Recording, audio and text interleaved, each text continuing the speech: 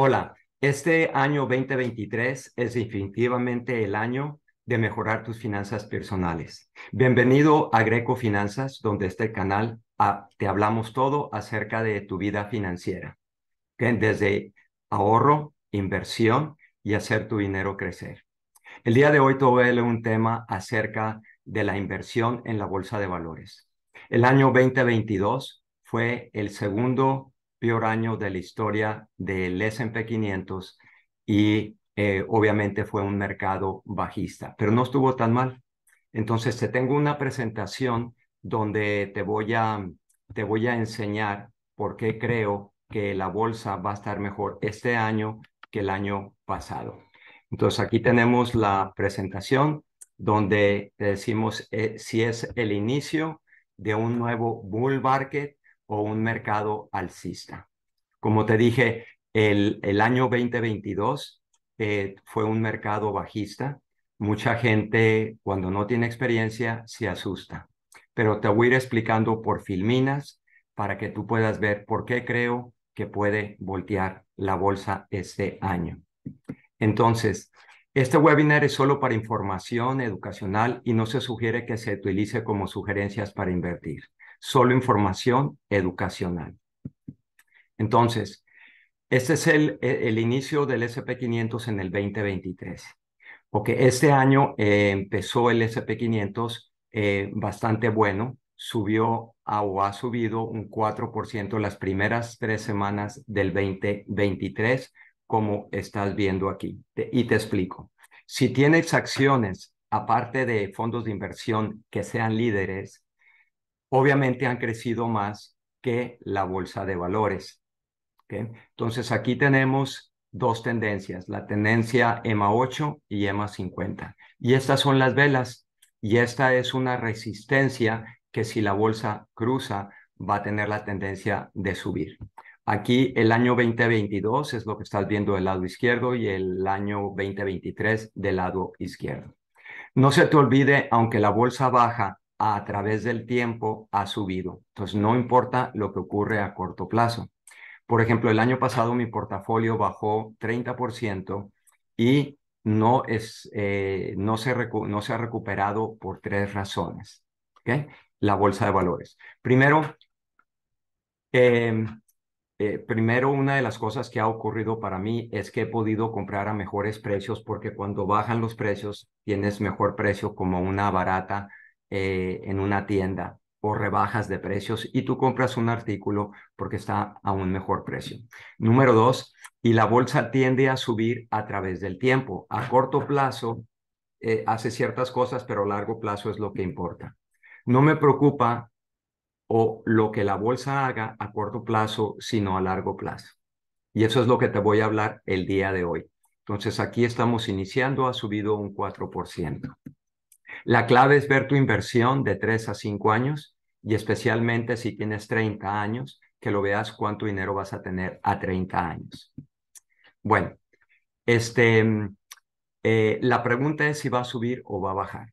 Y hoy en día se cree que, que va a bajar por la recesión en la que estamos. Las ganancias de las empresas han estado bajando o creen que no serán buenas esta semana de lo que te estoy hablando, la mayoría de las acciones están reportando sus ganancias. Entonces, Wall Street está pendiente de, ese, de eso que pasa cuatro veces al año. Como puedes ver, la vela diaria, son, las velas diarias son las blancas y negras, ¿ok? Tocó el, e, el SMA, es una tendencia del precio de 200 días, que es esta roja que está aquí, la acaba de tocar la semana pasada. Entonces la pregunta es que si la va a cruzar o la va a bajar, cualquiera de esas cosas. Entonces, como ha bajado mucho el año pasado, entonces tenemos miedo de que vuelva a bajar este año. ¿Ok? Pero ve la resistencia anterior aquí. ¿Ok? Tuvimos esta resistencia aquí, tenemos otra y empezó a bajar más la bolsa de valores. Por eso se cree eso. ¿Ok? Ahí está la anterior. Ahora, ¿qué es lo que yo pienso? Yo pienso que no va a bajar la bolsa. Pienso que estamos iniciando una bolsa alcista o un bull market, como se dice en inglés. y bear market es cuando la bolsa baja. ¿Por qué pienso eso? Bueno, veremos en la siguiente filmina. ¿Ok? Existen tres señas que indican un nuevo bull market. La primera señal es que la bolsa tiene que subir un 20% desde su mínimo que ha bajado, ¿verdad? Y tiene que subir un 20%. Todavía no ha ocurrido eso. Entonces, la bolsa ha subido solo de su mínimo un 14%, ¿verdad? La primera señal no es válida. Ahora, la segunda señal que la gente ve es cuando la bolsa cierra por encima del SM200, que es esta bolsa, y comienza a subir. Eso aún no ha sucedido. Aquí subió por unos, por unos instantes y aquí todavía está por verse. Estamos en la tercera semana del mes de enero del 2023. Pero la tercera señal ahora es válida y nomás necesitas una de las tres señales para que confirme una nueva bolsa alcista o bull market. Entonces, veamos cuál es la tercera señal. La tercera señal es cuando la línea SMA, SMA 50, que es el precio promedio de 50 días, ¿ok? Cruza por encima de la línea verde, esta que está aquí, que es el SMA 150 días, un promedio de 150 días de precio. Y ambas tendencias deben de estar planas o con pendiente ascendente y eso confirmará el nuevo mercado alcista. Esto acaba de ocurrir, ¿ok? Aquí, la semana pasada de lo que te estoy hablando, esto fue en la segunda semana. El EMA 50 cruzó arriba del EMA 150 que está en azul. Ahora te voy a mostrar si el S SMA 200, que es esta, en la siguiente filmina, y la voy a quitar para que podamos ver mejor. Esta es una tendencia que yo, eh, que yo puse para poder tomar decisiones cuando estoy ah, comprando y vendiendo acciones. Bueno, ahora estamos viendo que el SMA 50 en azul y el EMA 150 en verde. Es lo que estamos viendo.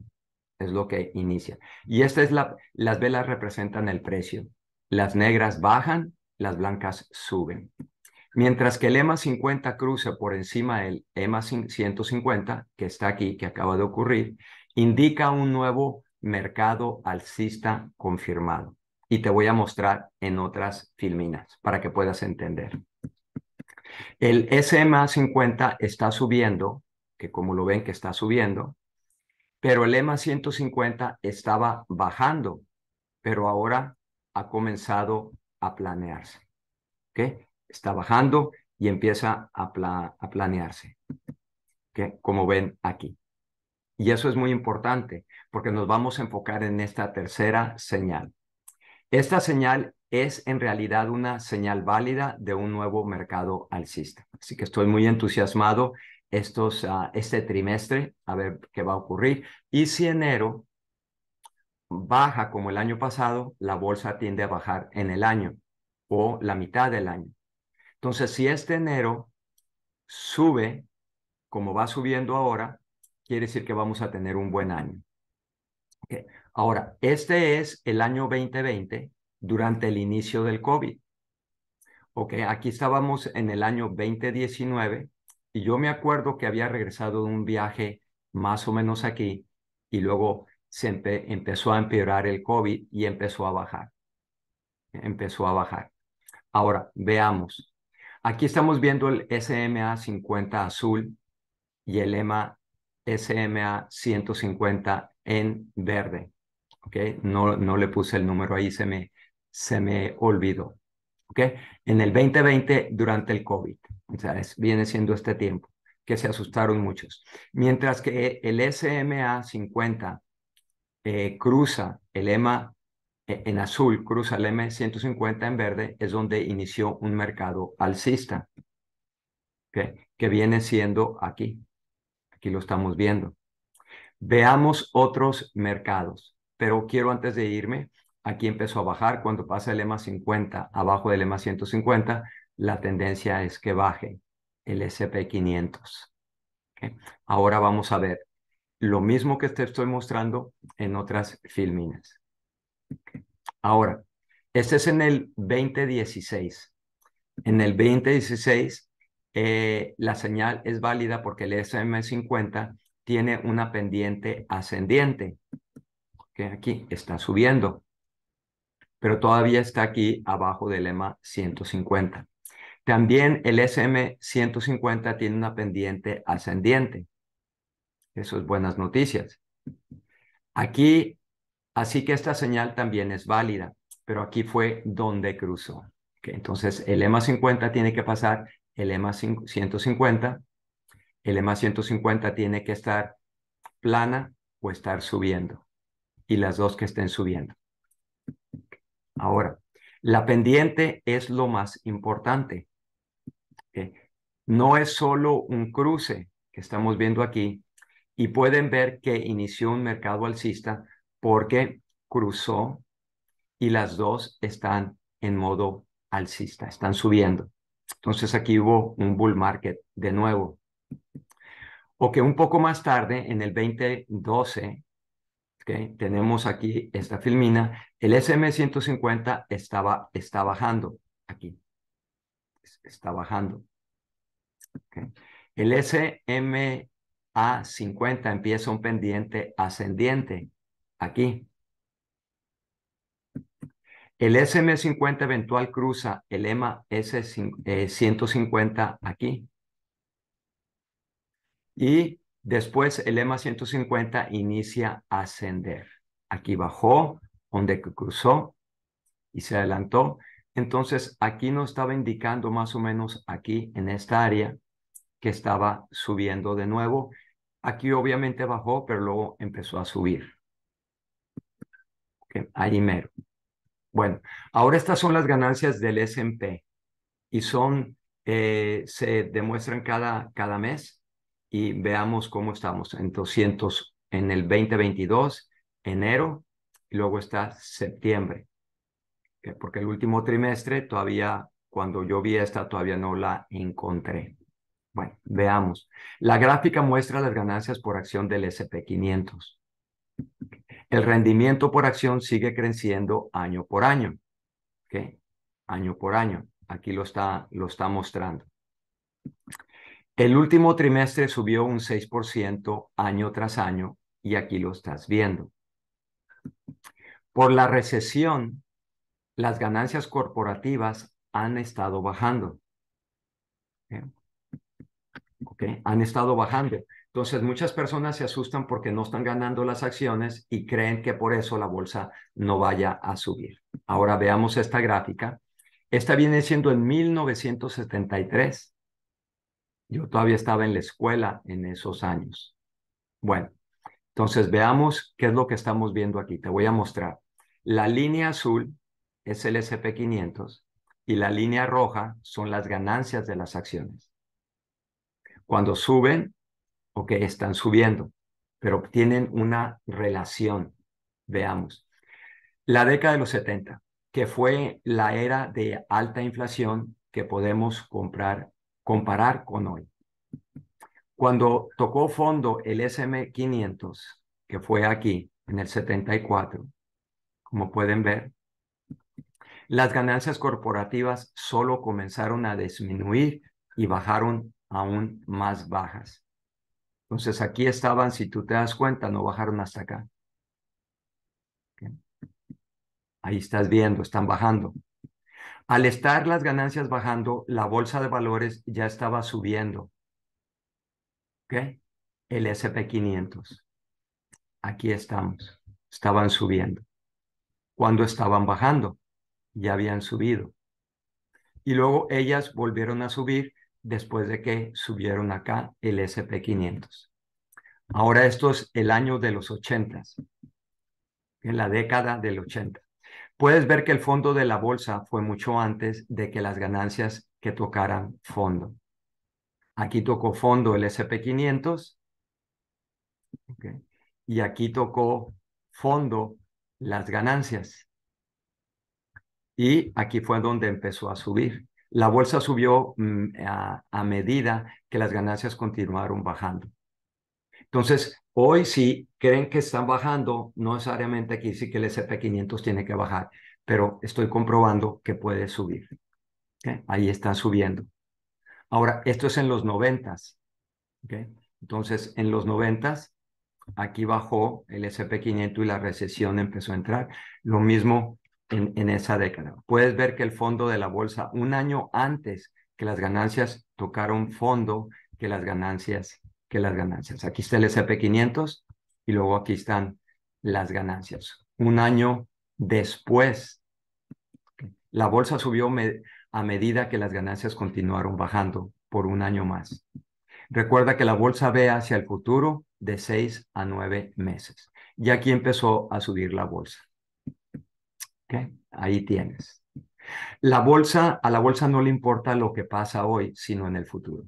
Y nos debe también importar a nosotros. Nosotros gastamos dinero todos los meses, no ahorramos, pero ¿cuánto dinero vas a tener a futuro? En el año más reciente, 2019, lo mismo pasó con la pandemia. ¿Ok? Estás viendo aquí que bajó el SM50 y luego subieron después en diciembre. Esto fue en abril, empezó a subir y en diciembre empezaron a subir las ganancias. Recuerda cómo estaba hace cuatro años de esto. Ha ocurrido cada vez en el pasado, pero también se recupera la bolsa. A corto plazo baja, a largo plazo sube más todavía.